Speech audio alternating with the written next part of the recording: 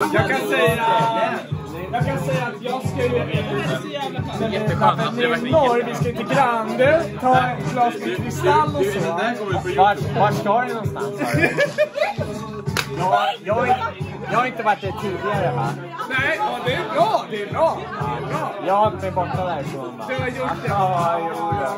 Nej, jag förstår det. Så här, Grand, det är lite, är sunkigt för åren och så. Vart köper du din inredning ifrån? Inredningen, vet vad, det är ju alltså, så här, vissa, möblemanget skulle man kunna säga, de införskaffar ju sin inredning från Ikea.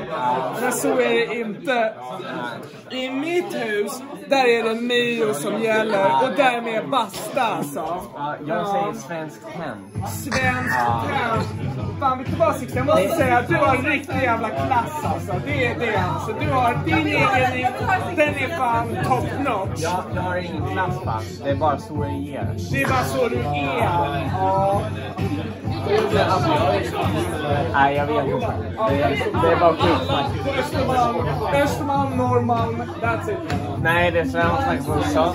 Nej, nej, nej. Vilken sån? Det är Söder. Då hamnar vi någon helt annanstans. Ja.